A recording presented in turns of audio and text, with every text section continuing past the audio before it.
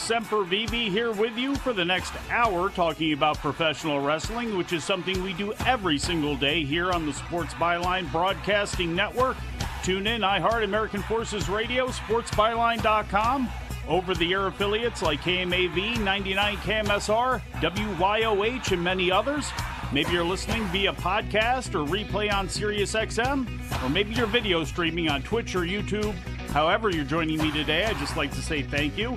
Hopefully, wherever you are, it's sunny outside. If not, hopefully, it's sunny inside your mind. There sounds like there's a swirling windstorm taking place outside. There's like 40 and 50 mile per hour wind gusts where I'm at. So sorry if you hear that and it ruins the sonic experience for you. At least it's a bright, clear day and it is after it gets done blowing away. It's supposed to be a beautiful weekend 62 and 67 degrees on Saturday and Sunday. Sunny, hopefully, for everybody traveling to Philadelphia next week. I'm about two hours south. Hopefully, that is the weather that you get for WrestleMania. Filthy Tom Lawlor will not be joining me today as he is down in Fort Lauderdale, Florida, getting ready to be a part of tonight's MLW War Chamber show. The show streams on Triller TV beginning at 8 p.m., and I'll let you know some of the details on that show later on. But we have a lot to get into today, and I'll start now with some news on disgraced former WWE and TKO executive chairman Vince McMahon.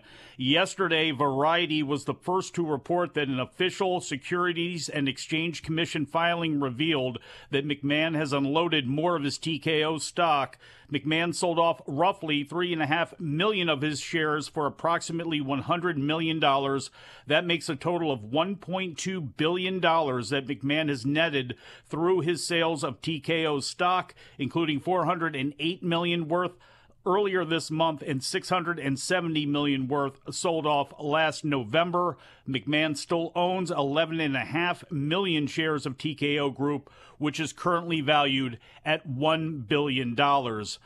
After we get back from break, we'll have a lot more WWE news. No surprise there. SmackDown is live tonight, and we have four matches and one segment announced.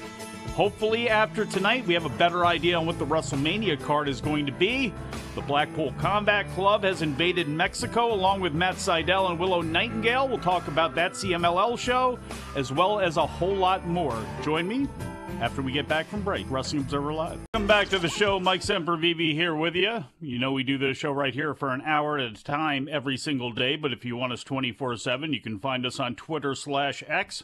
I am at Sempervive. The website is at WONF4W, and the broadcaster is at Sports Byline USA. Jim Valley's here with you on Saturdays, 1 p.m. Eastern Time, 10 a.m. Pacific. And Andrew Zarian takes the reins on Sundays starting at 6 p.m. Eastern Time. I'd also love it if you made the wrestling news part of your day, everything you need to know to get your day started or get you up to date.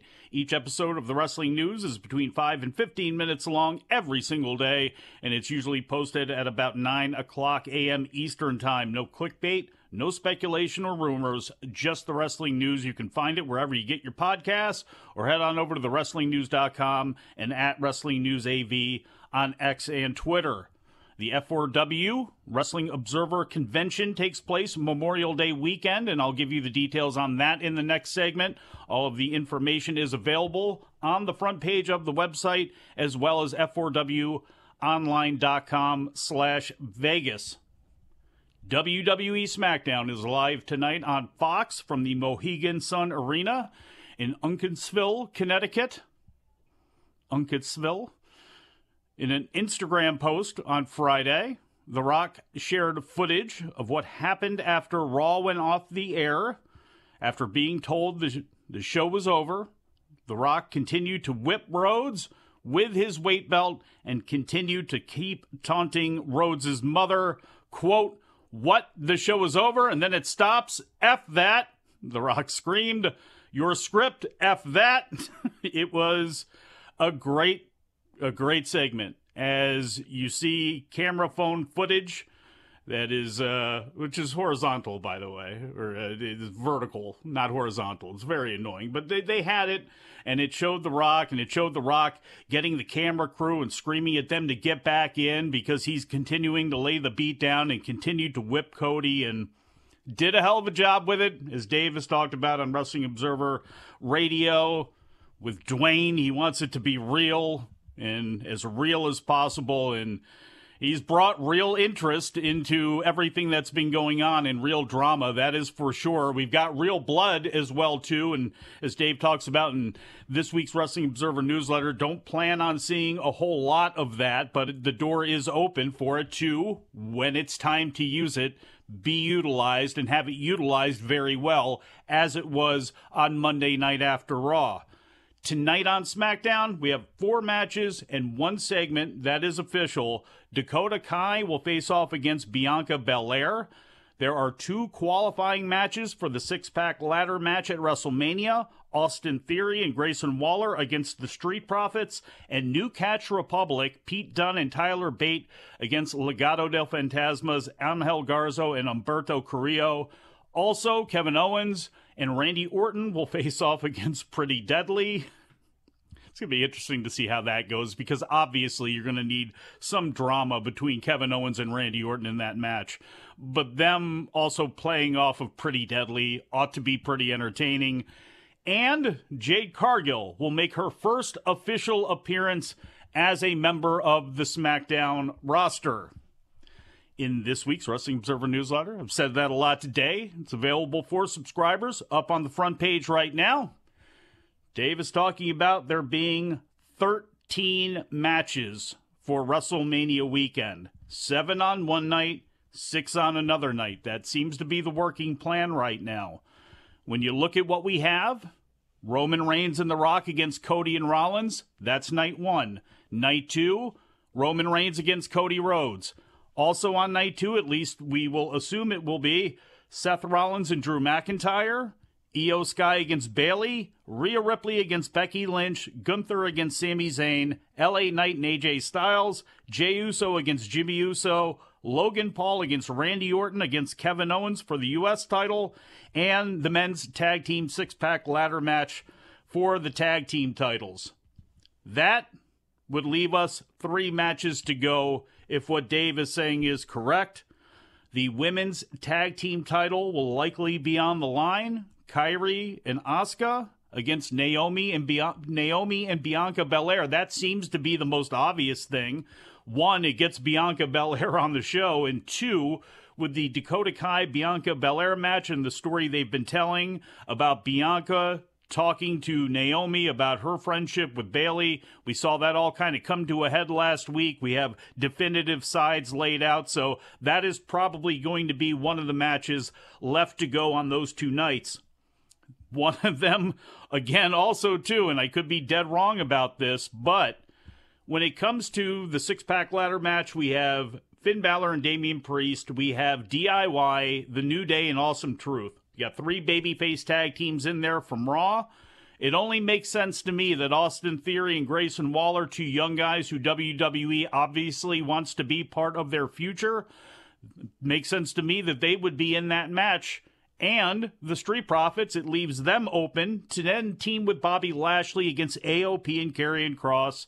You can throw in B-Fab and, and Scarlett Bordeaux if you want to. You still have Paul Ellering at ringside as well, too, for AOP and Karrion Kross, But that seems to make the most sense for a match to happen. So in that case, Theory and Waller can go on, be in the ladder match. When it comes to New Catch Republic against Angel Garza and Humberto Carrillo tonight, it's really interesting Garza and Carrillo would probably be perfect to be in that match, but it's not like Dunne and, and Bate wouldn't be perfect to be in there as well too. So that's kind of a toss up right now as far as who can make it in. I'll say Dunne and Bate just because the last match, if we have 13 spots left to go, in my opinion, the way it looks, Rey Mysterio Jr., Carlito, and Dragon Lee against Santos Escobar, Angel Garza, and Humberto Carrillo, if they go ahead and lose tonight, that seems to make a lot of sense to me. What also makes sense, though, is to add a couple of people to that mix.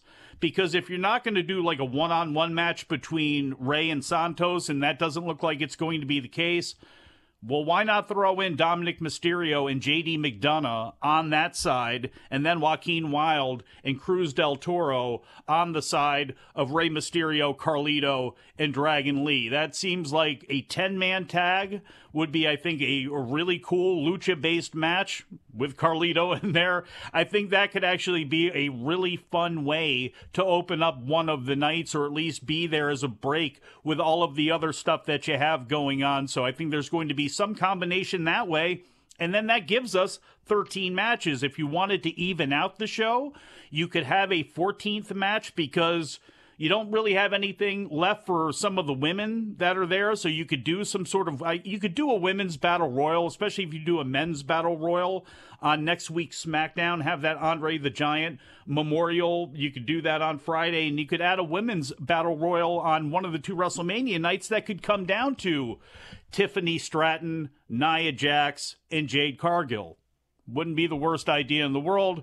Doesn't have to be done, but again, if you're going to even out the card, maybe that could work. But again, tonight after SmackDown, we should have a real good idea on what they're going to be offering in full for WrestleMania, and we'll see if they wait until next week before they start divvying up the days so everybody's going to know what they're going to have two WrestleMania house shows, uh, Road to WrestleMania house shows this weekend. Uh, for those of you in the Manchester, New Hampshire area on Saturday, WWE is going to be the SNHU Arena, and on Sunday at the War Memorial Arena in Syracuse, New York. That will lead them in on Monday night to the Barclays Center in Brooklyn, New York. That's where Raw is taking place. The only thing we have announced for that show so far is an eight man tag team match between DIY and the New Day against the Judgment Day in full. Damian Priest, Dominik Mysterio, Finn Balor, and JD McDonagh. Got some more news on WrestleMania, as well as Kenny Omega, and a whole lot more when we get back from break on Wrestling Observer Live. Mike Sempervive here with you, Wrestling Observer Live. You know, I haven't done this for a while since I've stayed away from the energy drinks, but I have one of these uh, Sprite tropical mixes right here. So here you go for all the ASMR kids. Listen in as the wind whips around in the background. Not as dramatic as a can opening, that's for sure. Hey, folks, not only is there wind during this time of year, it is also the time of year where there is the F4W Wrestling Observer convention set for Las Vegas, Nevada, Memorial Day weekend, as it always is. Go to the front page of the website for details on this, but I'm going to give them to you right now if you're driving around, if you're one of the truckers out there who make radio and podcasting so wonderful because, well, you guys need content when you're on the road, and we really appreciate you, you know, listening to us. We, we really do. I appreciate that at least, okay? I do. Anyway, this is what it says here on this website. We welcome current subscribers, past subscribers, friends, family, wrestlers, pets, and anyone else that wants to come along. Pets. Little people with pets? Yeah. Anyway, doesn't matter. Little person, big person, medium sized person. Doesn't matter your race, creed, or color. Doesn't matter your religion everybody is welcome to come. Maybe not all of you at the sweet party at one time because we want there to be a good time there. But anyway, again, as long as everybody acts all right, eh, it'll be fine. A lot of stuff taking place Friday, May 24th through Sunday, May 26th. There are things you can buy tickets for, including the all-you-can-eat dinner at Texas de Brazil, a meet and greet with Bryan Alvarez and Vincent Verhei, followed by a live Q&A session. Pro wrestling as promoted by Ed in San Antonio. It is Poder Seis, a sweet party. There's going to be details on that coming soon, so keep your eyes peeled to the website. And an annual brunch at the Wicked Spoon. Again, you can buy tickets for any of those events. Get them before they sell out because they do actually sell out. Any questions, you can go ahead and drop them a line. Hopefully, everybody enjoys their time in Vegas. Hopefully, Bryan and Vinny see you all out there. I will not be out there. I don't leave my house much anymore. The beach is very close. That's pretty much all I need. I won't be going to Philadelphia either, but a lot of you are. In fact, so many of you are that WWE has added seats. They have raised the capacity to 62,251 for both nights, according to today's Wrestling Observer newsletter. Night one is currently at 59,876 tickets sold, with 2,570 of those on the secondary market, with a get in price of $148. Night two has 61,197 tickets out, with 2,380 on the secondary market, with a get in price of $189. So right now it's going to cost you at least around 190 bucks for one ticket to get in if you have not already. Dave notes that the prices have dropped noticeably over the last 2 weeks even as the storylines have heated up, but that is the usual pattern that these secondary market tickets usually take. So a lot of people going to be in there for those two nights right now. Also, in this week's edition of the Wrestling Observer newsletter, Dave Meltzer provided a status update on AEW star Kenny Omega. And it's not super positive. This was posted up to the main page of the website earlier today by Joseph Currier. So if you want to check out the story, you can go ahead and do that. Omega, of course, has been out of action since December due to diverticulitis. Uh, quote, while no decision has been made, it looks more likely than not that Kenny Omega will be getting surgery on his intestines. He's had his ups and downs, but has largely been dealing with a good amount of pain for months now. He said surgery is becoming more and more likely as two different doctors have told him they think it's the best option. It's not 100% that he will have surgery, but it's looking more likely, particularly if he wants to get into condition to resume his career, that he will probably have to get rid of the perforated sections of his intestine and colon. Later, Dave writes, we keep going back to Davey Boy Smith Jr. and Brock Lesnar, both who both returned at a high level, and both of their situations were very bad as well. But Omega's situation was legitimately life threatening. End quote on that. So all the best to Kenny Omega. Looks like he's going to be facing surgery. Not sure how long that would keep him out for, but it is probably going to be a, a uh, significant period of time when you include the rehabilitation time that he's going to need before he comes back just to get his body back up to par to get back into the gym to do the work that he needs to do to get back into the ring. So maybe a long time before we see Kenny Omega again. AEW Collision will be in London, Ontario on Saturday night inside the Budweiser Gardens. Next week's show, next Saturday's Collision, will be airing at 11:30 p.m. Eastern Time. So that is when that is going to be taking place is getting pushed back. I believe it's due to basketball. It will come on basically a half hour after WrestleMania 1 is over. I'd have to look at the schedule, and I admit I have not done that for every single independent show that is going to be taking place. So I'm not sure if it's also going to be doing battle with Joey Janela's spring break or anything like that, but I'm sure there's going to be a card going off at least one, if not probably seven, is somewhere in Philadelphia or in southern Jersey that weekend, that night. So next week's collision, again, 11:30 p.m. Eastern Time this is going to be the last one this week uh, that that's on schedule. Six man tag team match: Lance Archer and the Righteous against the Blackpool Combat Club. Bryan Danielson and Claudio Castagnoli, that is. They'll team with Katsuyori Shibata. So hopefully there are no flight delays getting out of Mexico. I'll, I'll, get to why later on here. Hopefully the BCC makes it on time to uh, London, Ontario. That's a hell of a trip after wrestling in Arena Mexico, Mexico tonight in Mexico City, skipping up to London, Ontario. Kyle O'Reilly will be facing a mystery opponent.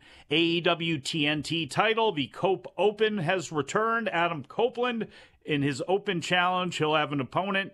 Uh, AEW World Tag Team title tournament quarterfinal matches Big Bill and Ricky Starks against Top Flight and FTR against the Infantry. So there you go. That's what's coming up on Saturday. We'll see how the ratings go. Again, a lot of basketball this weekend. Major League Baseball has started up. You got the NCAA women's basketball tournament, which has gotten the most attention uh, this year uh, as it ever has because of just the boom of women's college basketball in the media's eyes this year. But uh, Dynamite on TBS Wednesday night. No other way to say it. It tripped and fell pretty significantly when it came to its rating. It averaged 747,000 viewers, its lowest total since April 7th, 2021. It's the third show in the last four weeks that was under 800,000 viewers. In the 18 to 49 year old demo, the show's 0.23 rating and 301,000 viewers is the lowest it has done, Dynamite that is, since October 23rd, 2021. That show aired on a Saturday. When it comes to its normal Wednesday night slot, it is the worst that the show has done since June 24th, 2020, and is tied for the second lowest of all time on that day. That said, it was still the third ranked show on cable TV in that demo for the night. It trailed two basketball games, uh, NBA basketball games on ESPN. Everything else that night between 4 and 14 were either ESPN or Fox News shows. So the next closest thing came in at number 15, and that was the NHL game on TNT. Remember TNT? They used to air Dynamite. That game was Boston and Tampa Bay, and this is always something that drives wrestling fans a little bit crazy when it comes to the NHL's ratings in relation to AEW or WWE or anything else.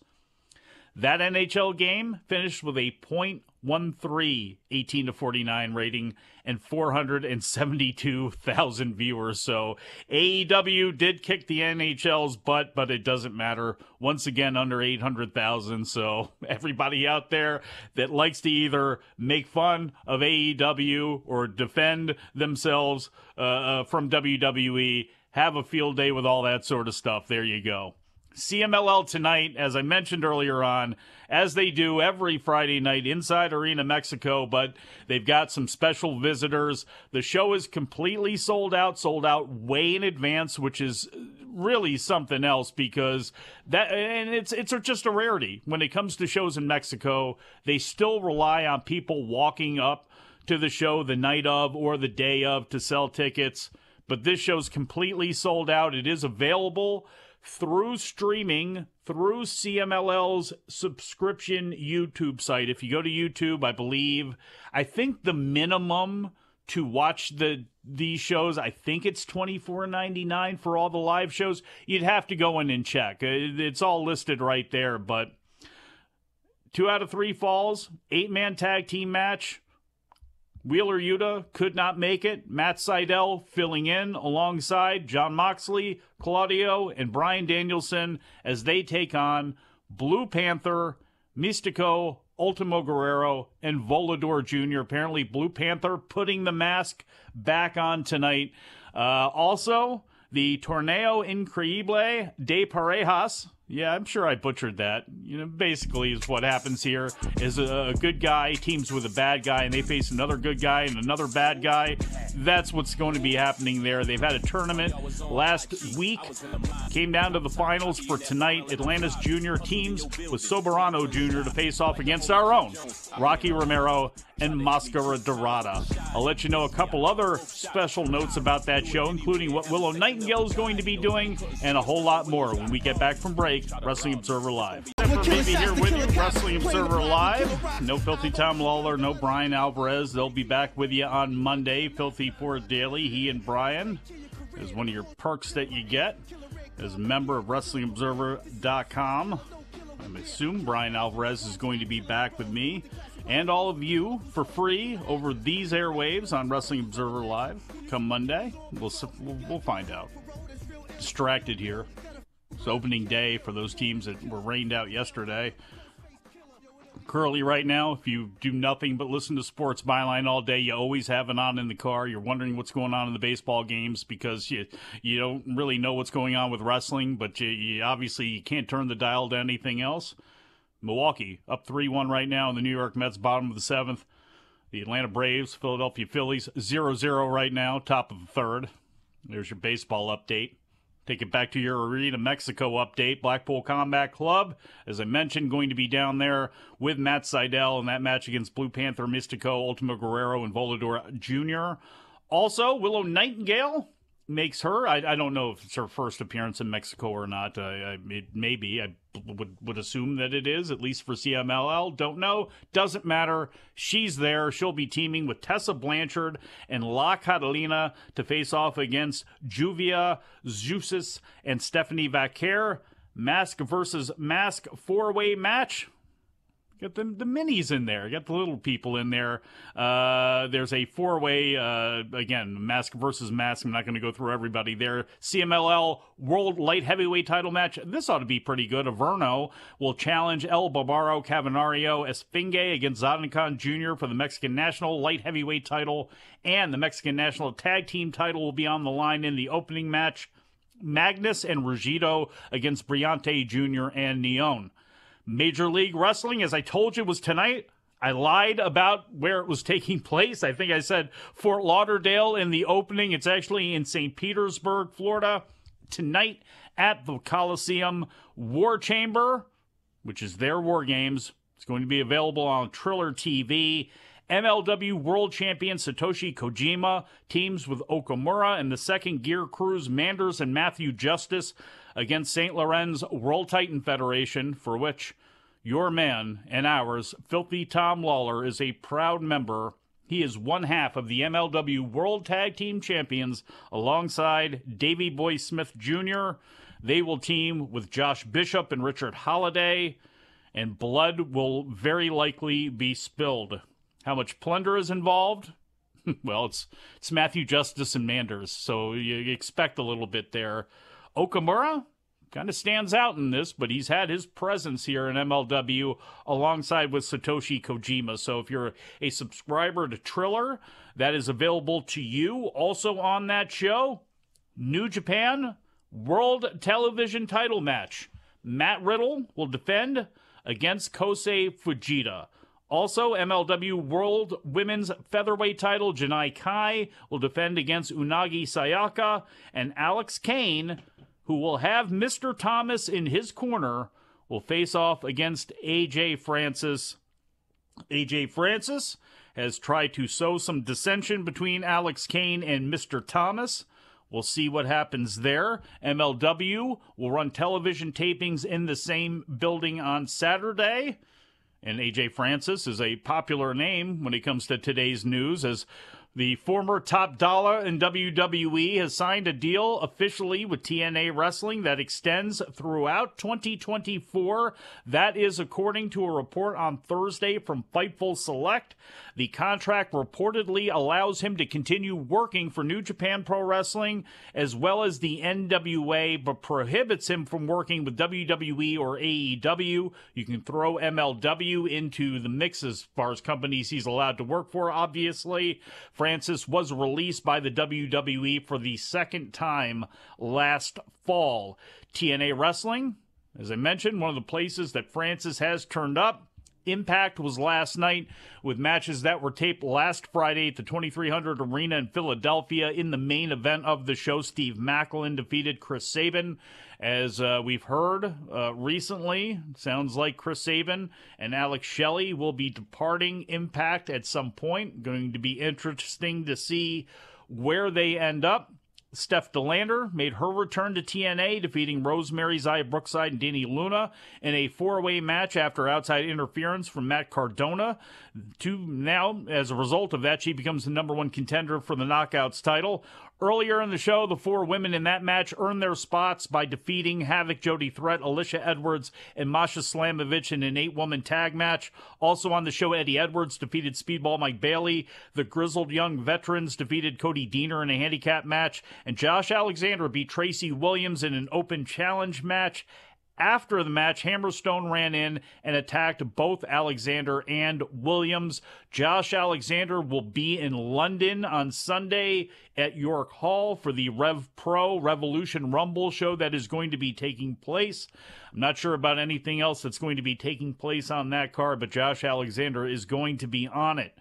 Ring of Honor was also last night streamed on Honor Club, had matches that were taped on March 27th in Q City, March 16th in Ottawa, and March 13th in Boston. The main event of that show was Kyle Fletcher successfully defending the ROH World TV title against Blake Christian.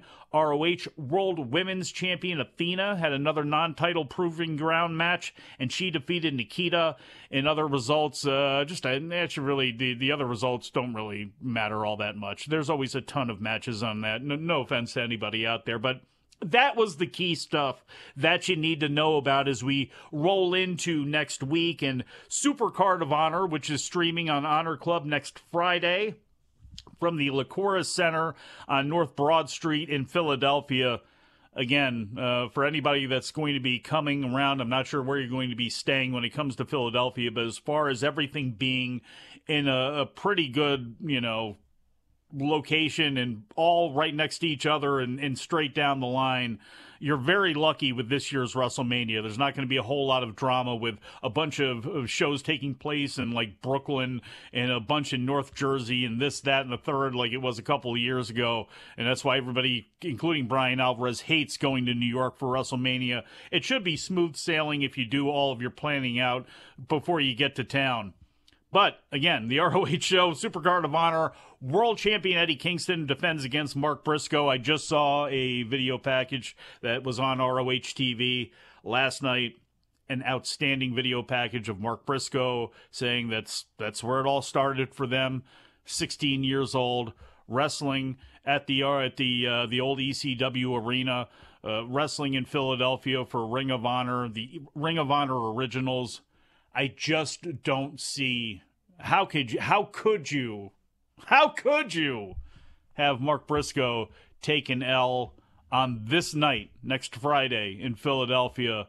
Ain't gonna happen. Eddie Kingston is going to lose that ROH World Championship. Athena will defend her ROH Women's title against Hikaru Shida. I say, unless Hikaru Shida is going to be in Ring of Honor for a extended period of time. And I, I guess I could see why you'd want to do that working with many of the women on the roster, unless she's going to be there full time. No reason to put the belt on her. She can be far utilized far better with the women that you're bringing in and the women that you have over in a- on AEW proper. So Athena, I'll give her the Duke here. Kyle Fletcher against Lee Johnson probably going to be a hell of a match. Probably going to be just a lightning. Probably going to you know be a surprise. Hopefully Lee Johnson, eh, big shotty here. Big opportunity for him because obviously there's been a lot of groundswell of support for Kyle Fletcher as far as being the next Ospreay, the next breakout star, whatever you want to call him. But I would think that he holds on to his title here, but this could be a big, you know, big, big opportunity for Lee Johnson if he shows off just as much as Fletcher is expected to. Women's Television Championship Tournament Final Queen Aminata against Billie Starkz. Could go either way. I could understand it going either way. I'm still taking Aminata. They have now added, though, Mina Shirakawa, World of Stardom champion Maika, and Mei Seira facing off against Azumi, Tam Nakano, and Saya Kamitani. That ought to be awesome. That ought to be really fun.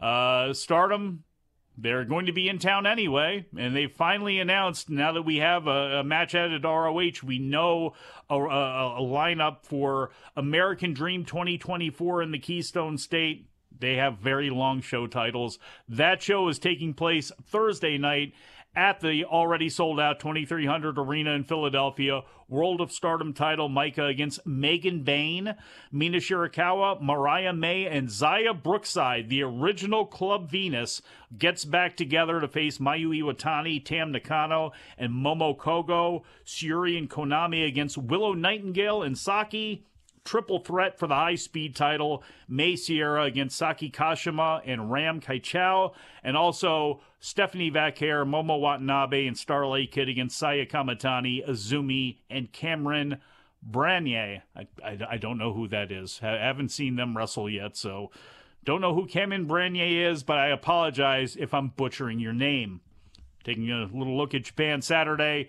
New Japan Pro Wrestling, the first of four shows that will lead into Sakura Genesis, which takes place on April 6th. Mostly tag team matches on that show for the most part. Also taking place this weekend, All Japan, Saturday at the Ota City General Gymnasium. Katsuhiko Nakajima will defend the Triple Crown against Yuma Anzai. And then Noah Star Navigation takes place on Sunday at Korakuen Hall. So there is a lot of stuff that is going to be taking place this weekend. There's going to be just a ridiculous amount that is going to be going on next week again, I haven't even looked forward to seeing all of the matches that are going to be taking place. The collective, I think, is good for what at least nine matches, something like that, or nine shows at least, something like that. You got the the WrestleCon shows will all be taking place. The Mark Hitchcock Memorial will be going on. Just a ton of stuff, plus all of the meet and greets as well too. I saw the meet and greet prices. I think it's fifty dollars per wrestler for stardom during the meet and greets that are going to be taking place.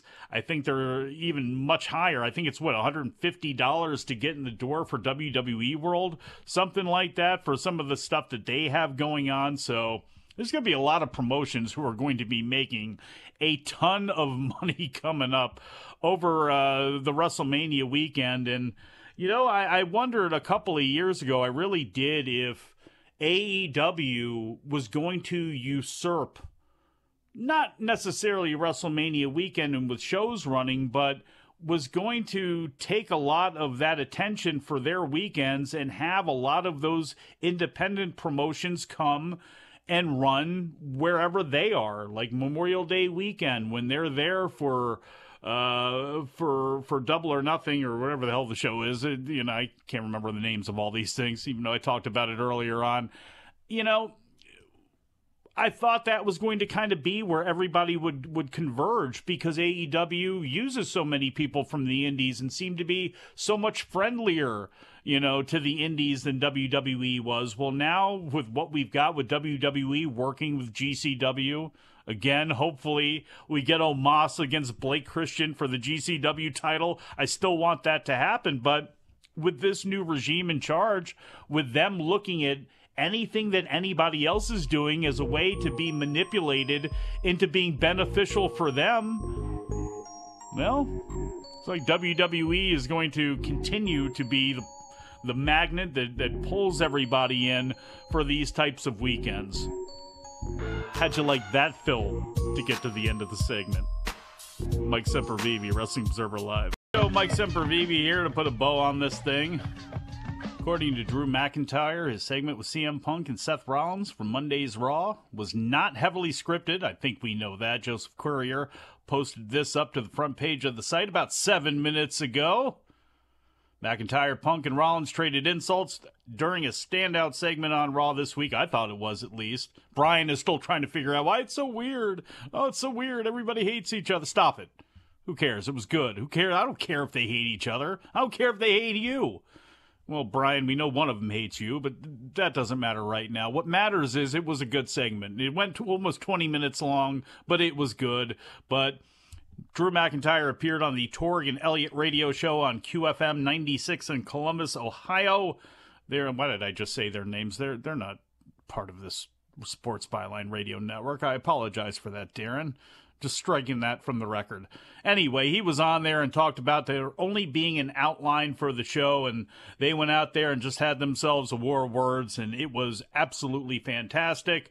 Still, technically, apparently, reportedly, allegedly, Drew McIntyre has not re signed with WWE as of yet.